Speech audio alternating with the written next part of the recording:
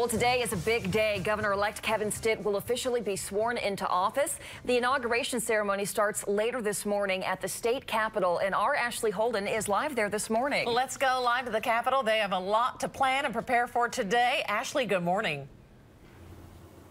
Good morning, and thousands are expected to come here to the Capitol to watch this historic day. The Oklahoma Highway Patrol, as well as the governor-elect's team, have been preparing. Now, the inauguration celebrations really kicked off last Thursday with a ball in Lawton. That was the first of three, with one that already took place in Tulsa and another here in OKC tonight. In terms of the swearing-in ceremony, OHP says they've been working with federal and city agencies to make sure they are prepared.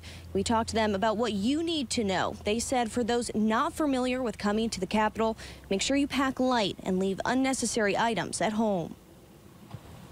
And we're asking anyone that comes here, you're going to expect the normal procedures for entry into the Capitol. So don't bring bulky items, don't bring packages.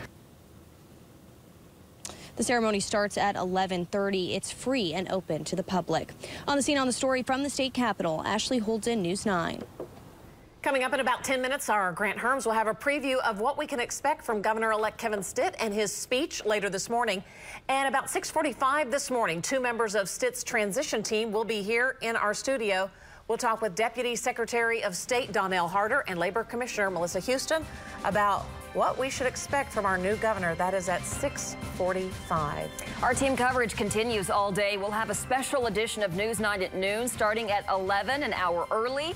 That will lead up to the ceremony, which starts at 1130. We will also live stream the entire inauguration on our News 9 app and the News 9 Facebook page. So